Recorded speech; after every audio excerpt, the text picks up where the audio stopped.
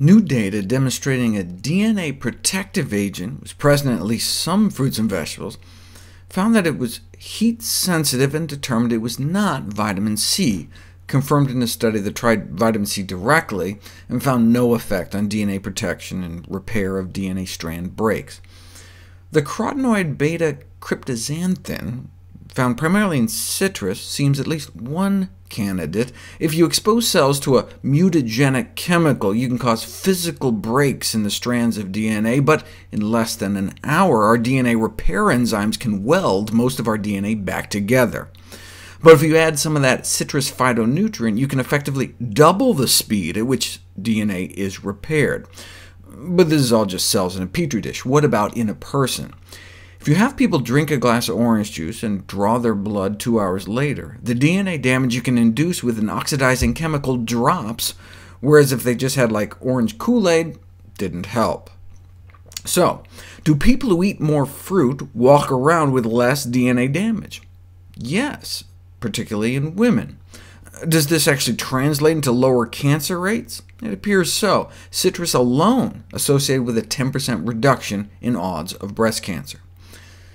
Given to newly diagnosed breast cancer patients, citrus phytonutrients were found to concentrate in breast tissue, uh, though many complained of citrus burps uh, due to the concentrated extract they were given. So researchers evaluated topical application as an alternative dosing strategy, uh, recruiting women to apply orange-flavored massage oil to their breasts daily.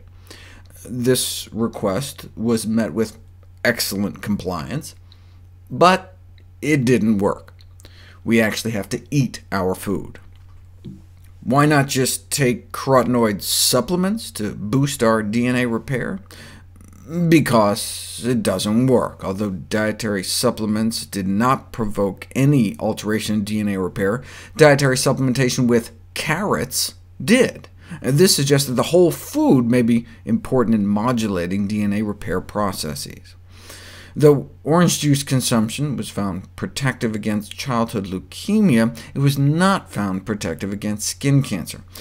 However, the most striking feature was the protection purported by citrus peel consumption. Who eats orange peels? Lots of people, evidently. Just drinking orange juice may increase the risk of the most serious type of skin cancer. Daily consumption was associated with a 60% increase in risk, so again, better to stick with the whole fruit, and you can eat citrus extra whole by zesting peel into your dishes.